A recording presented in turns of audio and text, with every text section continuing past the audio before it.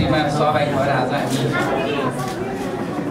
कार्यक्रमको सुरुवाततर्फ गइरहेका छौँ यहाँ उपस्थित हुनुभएका र आज यस कार्यक्रमका अध्यक्ष धादिङ जिल्ला सङ्घका अध्यक्ष यस कार्यक्रम सभापति नारायण सिंहज्यू त्यसै गरी पालिकाका मेयर भीम ढुङ्गानाज्यू र काठमाडौँ केन्द्रबाट पाल्नुभएका विभिन्न सङ्घ संस्था र पत्रकार महासङ्घबाट पाल्नुभएका साथसाथै हामीलाई र्यालीमा यो कार्यक्रमलाई सहयोग गर्न आउनुहुने विभिन्न कलेजका भाइ बहिनीहरू जो हामीलाई यो र्यालीको साथसाथै कार्यक्रममा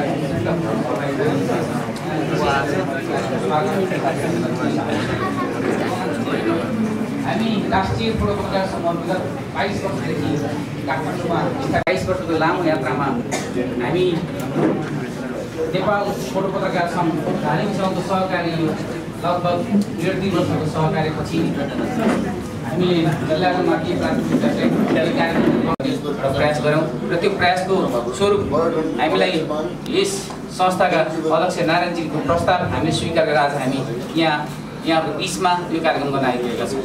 र यहाँहरूको माया र यहाँको आतिथ्यता यहाँप्रति हामी विशेष आभार व्यक्त गर्न चाहन्छौँ।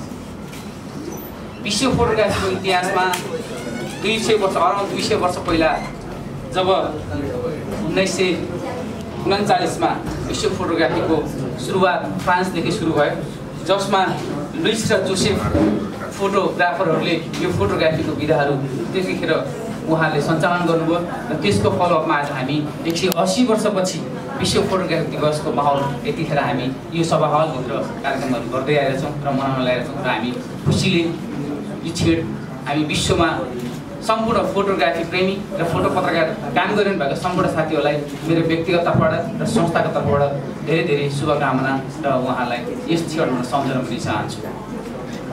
हामी म विगत म आफ्नै तपाईँले भन्दा विगत सत्र वर्षदेखि फोटो क्यामेराको साथमा आफ्नो जीविकोपार्जन गर्दै आज यो ठाउँमा आइपुगेको छु। र व्यावसायिक हिसाबमा विगत बाह्र वर्षदेखि फोटो पत्रकारिता सँगसँगै यो सत्र वर्षको काम आज म आएर राष्ट्रसम्म आफ्नो फोटो पत्रकारिताको रूपमा काम गर्दै आइरहेको छु। तथापि पनि हामी यो फोटोलाई मायाको हिसाबले लिन्छौँ र यो फोटो हाम्रो अभिन्न अङ्ग फोटो हामी हामी बिना बाँच्न सक्दैनौँ।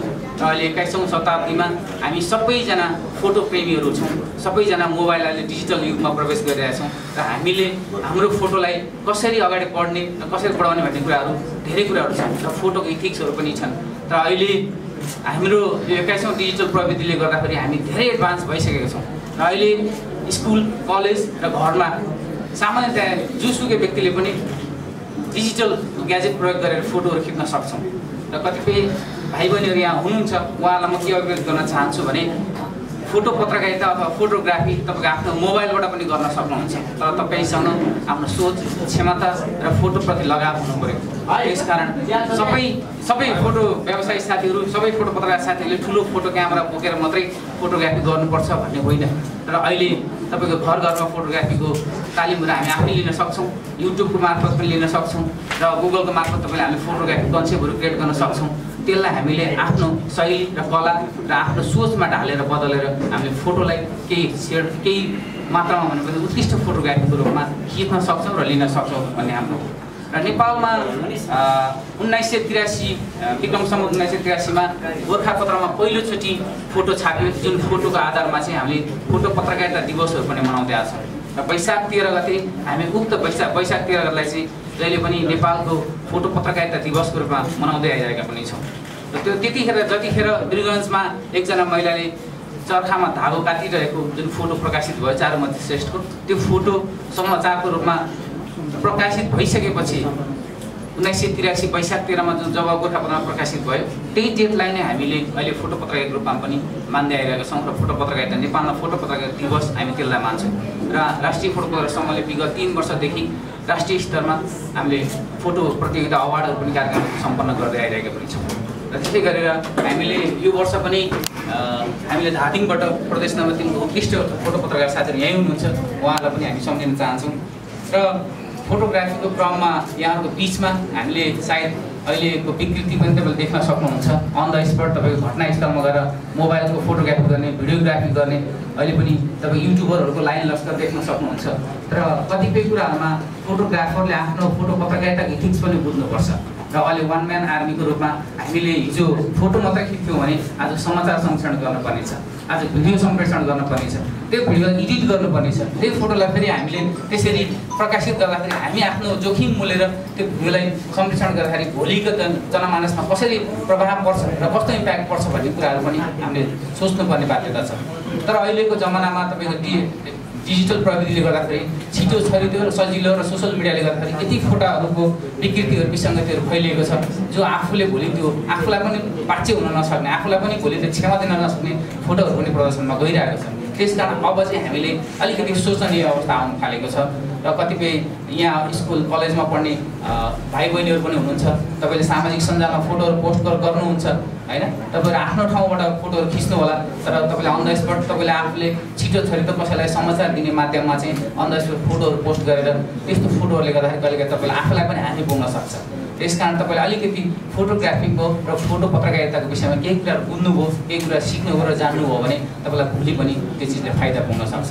तर अहिले जति पनि तपाईँले देख्न सक्नुहुन्छ। कुनै पनि समस्या उत्पन्न भयो कुनै ठाउँमा झै झगडा भयो कुनै ठाउँमा हत्या भयो भने तत्काल फोटोहरू क्लिक गरिन्छ मोबाइलमा र उसले फेसबुकमा सार्वजनिक गर्छ।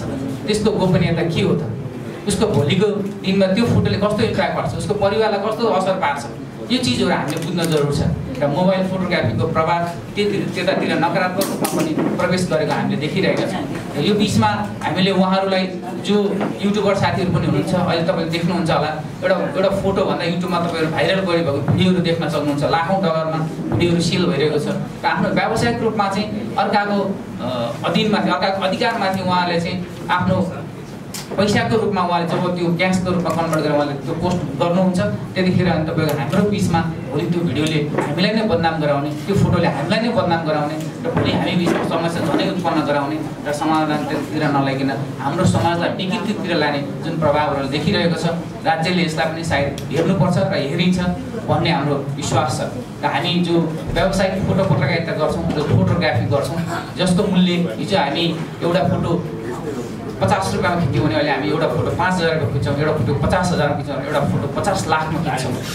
यो व्यावसायिकताको रूपमा डिजिटल प्रविधिले जुन क्षमता हामीमा विकास गरेको छ र हामीलाई बाँच्न सक्ने आधारहरू यसले दिएको छ र भाइ बहिनीहरूलाई म के भन्न चाहन्छु भने तपाईँ फोटोग्राफीबाट पनि आफ्नो जीविकोपार्जन गर्न सक्नुहुन्छ फोटो पत्रकारिताबाट गर्न सक्नुहुन्छ र अहिलेको यो ट्रेन्डमा विकसित भएका तपाईँको फोटो पत्रकारिताको माध्यमबाट फोटो पत्रकारको माध्यमबाट र भिडियोग्राफीको जुन मल्टिमिडिया सिस्टमबाट तपाईँको जुन भोलि तपाईँले आफ्नो उद्देश्यसहित फोटो पत्रकारिता पढिरहनु भएको छ भने त्यसलाई गहन रूपमा तपाईँले बुझ्न जरुरी छ।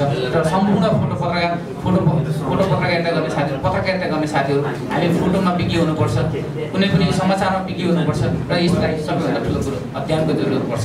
त्यसकारण यहाँहरूको बिचमा आज हामी काठमाडौँदेखि आएर पनि धादिङ जिल्लामा यसरी कार्यक्रममा बोल्न पाउने यसरी कार्यक्रममा सहभागी हुन पाउने र तपाईँको साथ न्यानो माया पाउनु नै हामीलाई ठुलो कुरा हो र भोलिको दिनमा अझै हामी उत्कृष्ट काम गर्नेछौँ र धादिङ जिल्लालाई अन्तर्राष्ट्रिय स्तरमा कसरी पहिचान गराउने र धादिङ जिल्लाको फोटोहरूलाई हामीले कसरी विश्वव्यापीकरणमा गराएर यो धादिङलाई चिनाउने भन्ने कुरामा हाम्रो साथीहरू जो धादिङमा रहेर काम गर्ने साथीहरू अग्रसर दिनरात खटिरहनु भएको छ। उहाँहरूमा केही चेतना स्तरको वृद्धि सँगसँगै उहाँहरूको क्षमता हुने जुन फोटोग्राफीको क्षमताले उहाँलाई अहिले देखाइसक्नु भएको छ र भोलिको दिनमा अझै यो राम्रो होस् र धादिङको आज हुन गइरहेको धादिङ अधिवेशनले नयाँ नेतृत्व चयन गर्नेछ। जुन चयनमा सबल नेतृत्व चयन होस् त्यस साथसाथै भोलिको दिनमा हामीसँग यहाँहरूसँग फेरि पनि सहकार्य गर्ने मौका मिलोस् र यहाँको बिचमा फेरि पनि यसरी नै सामूहिकता बढोस्। यहाँलाई अग्रिम शुभकामना दिन चाहन्छु।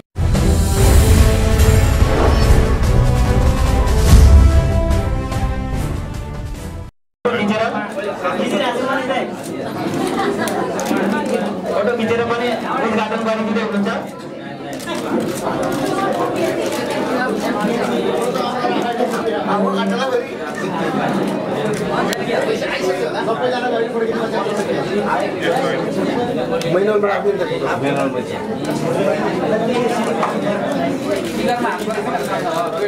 आयो